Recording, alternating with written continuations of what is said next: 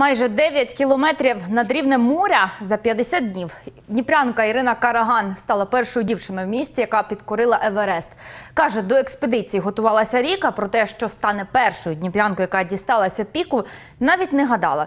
Про власний рекорд дізналася вже коли прилетіла додому та доповнює досі ніяковіє від кількості уваги, що зненацька на неї звалилася.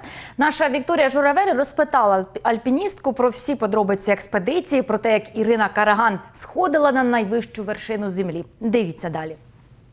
Вже 30 років більшу частину свого життя вона підкорює гори. Ірина Караган – перша дніпрянка, яка піднялася на Еверест, та четверта дівчина в Україні. Потрапити на найвищу точку землі альпіністка задумала рік тому. Відтоді почала готуватися, займалася в спортзалі та підіймалася на малі вершини – Арарат, Кіліманджаро та вулкан Охос-дель-Саладо. Этот год этой подготовки, это была не только физическая подготовка, это была и психологическая подготовка. То есть я год на- на- настраивалась на это, я об этом думала, я мысленно представляла себе все моменты, все э, эпизоды, которые могут быть.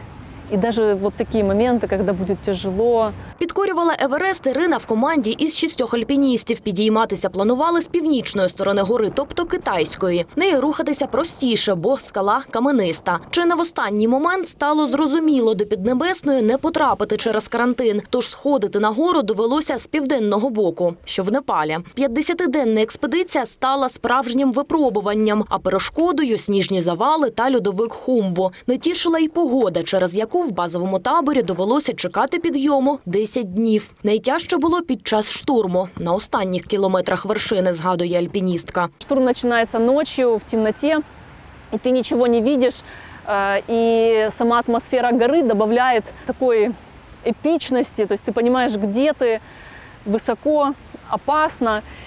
И я сама себе говорила, Ира, ты дошла уже вот сюда. Потерпи еще чуть-чуть, вот еще немножко осталось. Пляшка з водою, ліхтарик, аптечка та їжа. Це чи не все, що брала із собою альпіністка. На висоті, каже Ірина, головне, аби речі були легкі та компактні. Навіть термокомбінезон вміщується в невеличкий мішечок. А Ты спрашивала, как, как на высоте ходят в туалет. Все начинается с этой одежды, потому что ты находишься в комбинезоне.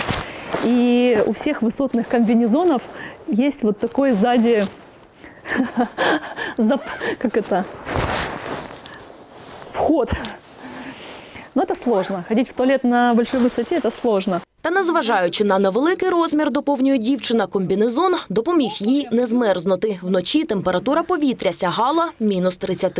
Мы все там похожи, знаешь, в кос- в комбинезонах, в масках, в кислородных на космонавтов. Коли повернулася в Україну, згадує Ірина, наче прокинулася знаменитою. У столиці її зустрічали журналісти чи не всіх національних телеканалів. Жінка зізнається, ніяковіє через таку увагу й досі. Та незважаючи на те, що власну історію переповідає вже не першому змі поспіль, в альпіністки горять очі, коли згадує про підйом на вершину. Это была такая эмоция, зна- ну, совершенно невероятная, когда ты ну, достигаешь того, чего ты очень сильно хотел. Альпінізму жінка присвятила більшу частину свого життя. Навіть з чоловіком познайомилася в експедиції. Щоправда, він підкорює не вершини, а підземелля. Разом вирішили відкрити і магазин з альпіністськими товарами. А 8848 метрів – ця магічна цифра не лише в серці Ірини, а й у номері авто. Такий подарунок по приїзду їй зробив чоловік. Наступна вершина, яку альпіністка планує підкорити – пік Леніна, що в системі Паміру. Туди планує відправитися вже цього літа. І, як завжди каже, візьме із собою талісман. Флаг Украины и